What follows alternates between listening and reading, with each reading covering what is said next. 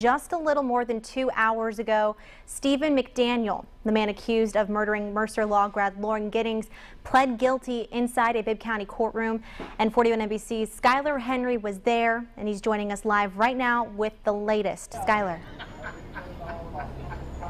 Skyler. Amanda, if you could describe the scene with one word this morning, it was emotional. Stephen McDaniels did plead guilty in front of Judge Howard Simms uh, for the murder of Lauren Giddings. Now, we're going to roll some uh, video that we've shot in the past uh, about this case. McDaniel was accused of killing Mercer Law grad Lauren Giddings back in the summer of 2011. He accepted the plea deal this morning. Well, he'll serve life in prison with the opportunity for parole again in 2041. Now, also a part of this plea deal is he'll have to provide an allocution. Now, if you don't know what that means is an allocution, it will be a written statement uh, talking about all of the events that happened on the night that Giddings was murdered. Now, the defense came to uh, Macon Judicial Circuit District Attorney David Cook uh, about this plea deal a couple of weeks ago. Cook told me uh, in a news conference that he believes McDaniel will spend the rest of his life behind bars, even though he has the opportunity uh, for parole again again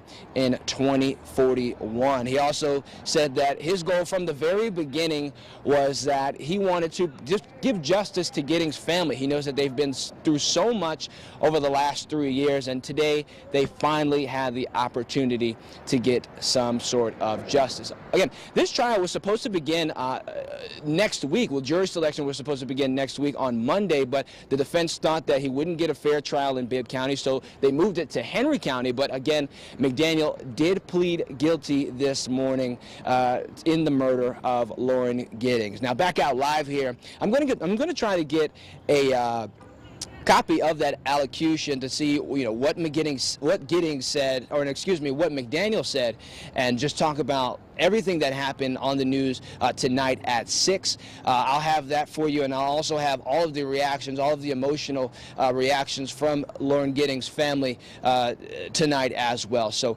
make sure you want to tune in for that and we'll also keep updating things on our website 41nbc.com for now reporting live in Macon Skyler Henry 41 NBC News